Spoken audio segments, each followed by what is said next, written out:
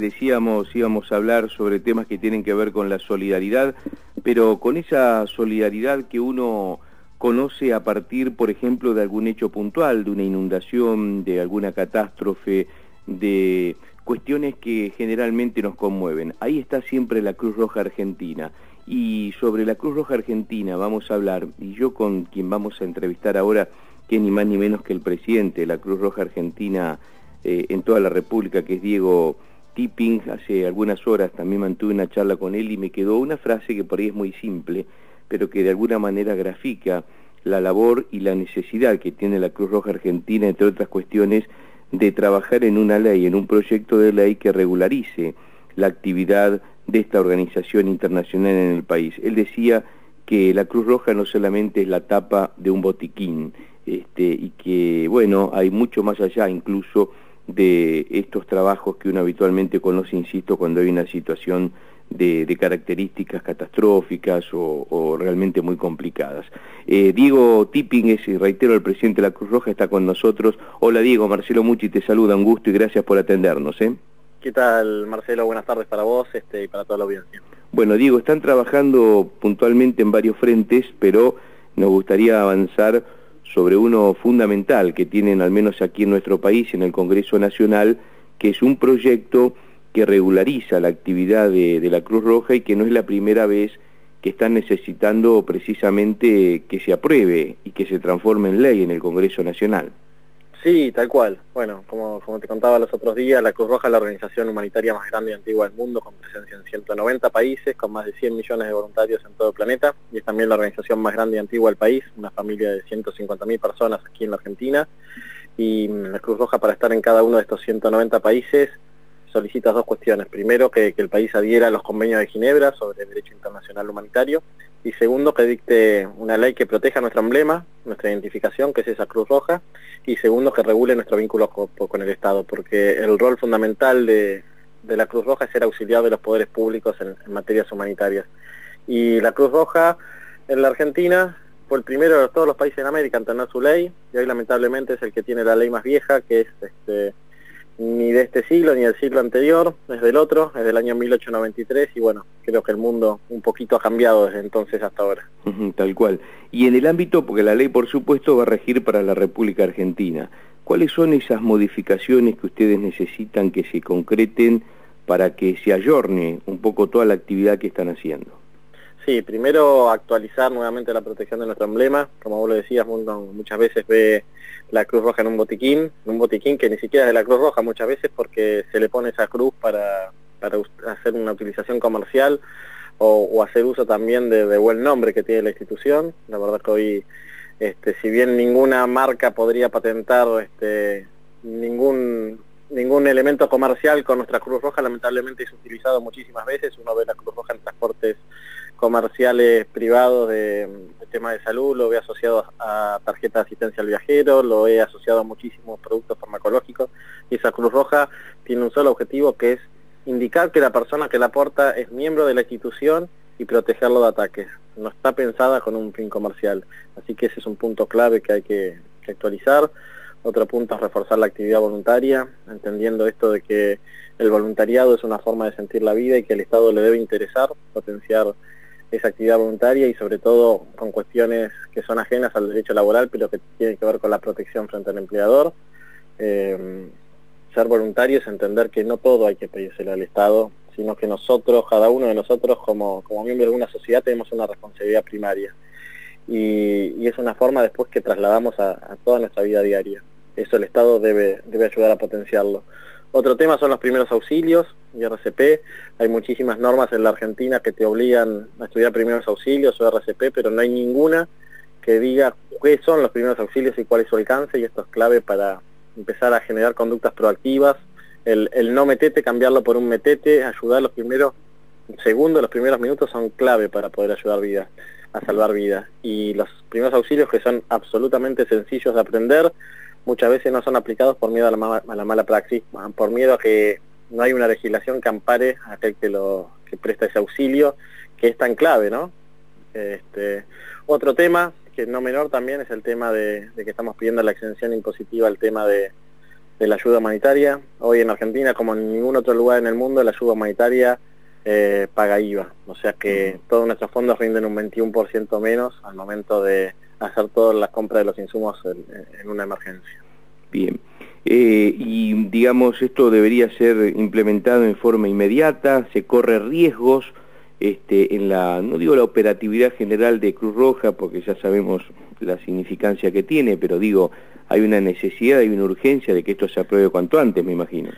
Sí, absolutamente. Nuestra ley, como, como te decía, tiene 123 años en la Argentina. 10 veces intentamos actualizarla y 10 veces nos quedamos sin ley, así que, entendemos que ya es momento que, el Estado argentino deje de mirar para el costado. Yo, nosotros no desconocemos que hay cuestiones importantes en el país, pero creo que algún huequito de 123 años este, se podría haber hecho nuestros legisladores para aprobar esto, que es legislar para ayudar justamente a los que realizamos y establecemos ayuda humanitaria de una forma neutral e imparcial, que es este, absolutamente necesario.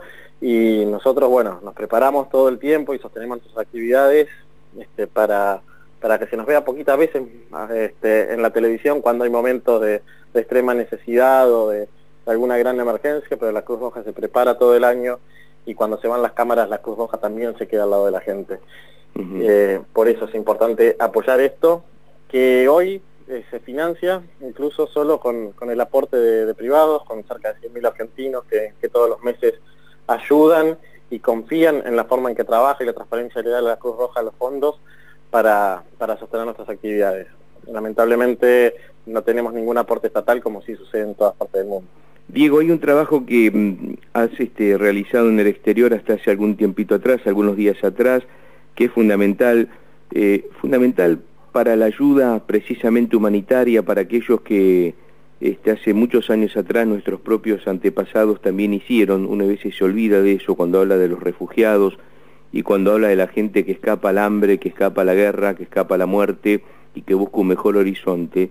Eh, digo, porque eso hicieron, por ejemplo, nuestros abuelos aquí en la Argentina y están trabajando en conjunto con otras organizaciones para la llegada de refugiados aquí al país. Nos gustaría que nos cuentes un poquito el trabajo que han hecho y cómo, cómo están elaborando, digamos, la posibilidad de que esto se, se desarrolle. Sí, sí, bueno, hace, hace poquitos días atrás firmamos un convenio con la Dirección Nacional de Migraciones. Unos meses antes lo habíamos hecho con ACNUR, que es el alto comisionado de las Naciones Unidas para los Refugiados, para trabajar en el tema de los migrantes. Vengo de ver todo ese proceso en España, estuve hace un tiempo viéndolo en Italia y ahora la semana que viene nos juntamos los 35 países de América para, para debatir toda la, problemática que aqueja a los migrantes en, nuestras Américas. Es un tema que es netamente humanitario, es un tema que no se puede mirar al costado por, más que muchas veces no sea simpático, pero hay que entender, como bien lo decías vos, que la gente deja sus, sus países de orígenes muchas veces sin saber si va a llegar vivo a otro. Este, y lo hace de manera absolutamente desprovisto de todo, con sus familias a cuestas, porque huyen de la muerte, huyen buscando vida, y ahí hay cuestiones humanitarias que, no podemos dejar de, ver, por más que no la estemos pasando bien en Argentina, este, por más que en otros países tampoco, tenemos que tender nuestra mano solidaria y, y generar esa empatía que es ponerse en el lugar del otro, ¿no? Para entender la situación. Es pensar qué haríamos nosotros en lugar de esas personas si nuestras familias, si nuestros seres queridos, si nuestros vecinos estuviesen siendo bombardeados, asesinados, matados. Este, seguramente haríamos lo mismo que ellos y, y, iríamos buscando sobrevivir y proteger a los nuestros. Entonces hay que entender esa situación y hay que, recibirlos como, como pasó con nuestras generaciones este, pasadas, ¿verdad? Con nuestros abuelos, con nuestros padres, con nuestros bisabuelos. Diego, ¿cuántos refugiados podrían llegar a la Argentina? Mira, el plan que se está hablando del gobierno es de alrededor de 3.000 familias. este, estamos aprovechando que tenemos justamente reunión de, nuestro Consejo de Gobierno a nivel mundial para, para poder juntarnos con nuestro par en Siria, que es la Media Luna Roja Árabe de Siria, y con la Federación Internacional para ver si podemos firmar algunos convenios también, algunos entendimientos para trabajar con los migrantes, no solo en su llegada aquí, sino también en su país de origen. y, respecto al tema del Congreso Nacional y el tratamiento del proyecto, ¿hay fechas, hay, digamos, alguna esperanza en algún día puntual donde se vuelva a tratar el tema? Mira, el martes pasado lo aprobó por unanimidad la, comisión cabecera, que es la de mutuales, este, acción cooperativa y ONG. Eh, faltan tres comisiones más, estamos trabajando muy fuerte para lograr que se realice una comisión conjunta y plenaria, sobre todo porque no quedan muchos días aquí al, fin de la actividad parlamentaria este año. Y si no llegamos a aprobarlo nos quedaremos sin ley de nuevo y tendremos que esperar un año para poder volver a, presentar el proyecto, así que estamos convocando a los presidentes de las tres comisiones que faltan, que son la de justicia, la de presupuesto y la de salud, eh, y son justamente de, los distintos partidos políticos, uno de la Unión Cívica Radical, otra de, del PRO y la otra del Frente para la Victoria, para para ver si podemos tener esta reunión, si podemos los legisladores, en diputados, aprobar rápidamente el proyecto para que pase a Senado este Está claro. Digo, un, tema un poquito más descontracturado, ya en tu condición de prosecretario general del Club Estudiantes de La Plata, me cuesta un poco hacerte esta pregunta, pero qué bien que están, ¿eh? Qué partido que han sacado ayer, ¿eh?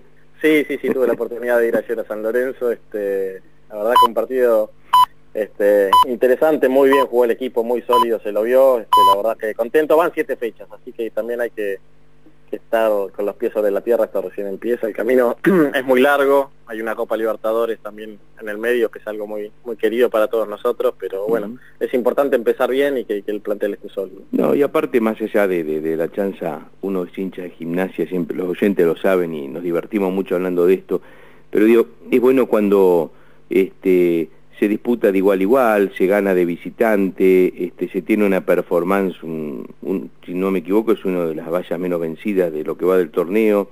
Ahí hay un trabajo detrás, no es casual, digamos.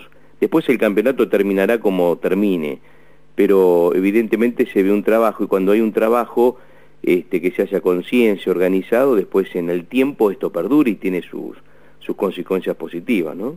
Sí, sí, sí. La verdad que trabajar en un club ordenado como está hoy Estudiantes, que nos ha costado bastante poder ordenarlo en sus finanzas, en su forma de trabajar, en, regularizar todos los protocolos. Este, la verdad que el clima, el clima de trabajo es otro. También el tema fútbol es, bueno, ya de, décadas, esto de, cuando hablamos de la familia pincharrata, de ir al club como, como nuestra casa, es cierto. Es cuestión de recorrer el country, de ver cómo trabajan los chicos de las inferiores, de todas las categorías, el cuerpo técnico de todas las categorías, este, la unión que hay de grupo, el sentir, este, de ver glorias pasadas que están todo el día caminando por el country, eso es muy bueno porque transmite mística, experiencia, sentido de pertenencia y bueno, eso muchas veces no se ve, pero, pero generalmente si todo eso está alineado, este, se ven buenos, buenos resultados, que es lo que está pasando hoy, por más que esto recién empiece. ¿no? Totalmente, vos sabés que sin ánimo de meterme en esto que te voy a preguntar con, con mayor detalle, pero arrancábamos el programa con un presidente como el de Temperley, aquí muy cerca donde estamos nosotros en la radio, preocupado por la amenaza de las barras. Digo, no, no es una situación que no escapa a ningún club, pero este, qué bueno cuando se, se habla de otras cuestiones y no de la cuestión más difícil que es la violencia y demás, y se piensa en un club más allá del, del fútbol, y obviamente que el fútbol es la actividad en los clubes de primera división más importante, pero que además hay, hay otras cuestiones, vos hablas del country, un, lugar ejemplar este, con una este, preparación a nivel europeo para los jugadores que allí concentran y demás, que nada envidia a cualquier equipo de Europa, pero además hay un club muy sólido este, en distintas actividades que hace y que esto beneficia al, socio, a la, la, comunidad en general. ¿Cuántos hinchas de gimnasia me imagino que utilizarán las instalaciones también de estudiantes? Digo, más allá de la, de la disputa deportiva, ¿no? Cuando es un club, cuando es un, la función social que tiene un club, no más allá de, lo futbolístico. Sí, absolutamente, y esa es la visión que hay siempre. Bueno, también en, esta gestión con Sebastián se ha creado la Fundación de Estudiantes, que tengo, tengo el orgullo de acompañarlo desde la vicepresidencia, este, fundamentalmente para, para acompañar un montón de cuestiones sociales y todos los deportistas, todos los jugadores de las juveniles para poder jugar en estudiantes tienen que, estudiar en nuestra escuela. Hemos abierto el turno tarde de manera gratuita para todos los jugadores, porque la idea es esa, es prepararlos para la vida. Llegar, llegan uno, dos, tres, pero el resto queda en el camino, tienen que tener herramientas para, para sobrevivir luego, para, para poder defenderse en la vida. Es un poco la misión del club, de poder acompañar a todos los sectores que están más vulnerables. nuestra misión, el deporte eh, nos puede ofrecer muchísimo para, para cerrar muchas eh, heridas o muchas desigualdades que en la vida diaria se notan. Lamentablemente en otras no se entiende todo lo que nos puede ofrecer y se generan estas situaciones de violencia, pero yo creo que ahí ya aparecen otros intereses. tal cual. Diego, gracias como siempre, un abrazo y bueno, obviamente que acompañamos la iniciativa de, Cruz Roja permanentemente y los micrófonos de, Estación 820 dispuestos para cuando quieran difundir y necesiten dar a conocer actividades porque de eso se trata, ¿no? de, lo que hacen ustedes este, obviamente en otro, en otro aspecto como es la, ayuda humanitaria, desde aquí con la difusión haremos humildemente lo que, lo que podemos. Y un gran abrazo. Bueno, muchísimas gracias, gracias por estos espacios y bueno, siempre un placer hablar contigo. Gracias, un abrazo. Diego Tipping es abogado, es presidente de la Cruz Roja Argentina y además hablamos un poquito de la actualidad del conjunto puntero del fútbol argentino como es Estudiantes de La Plata en su rol de prosecretario general del club y además vicepresidente de la Fundación Estudiantes de La Plata.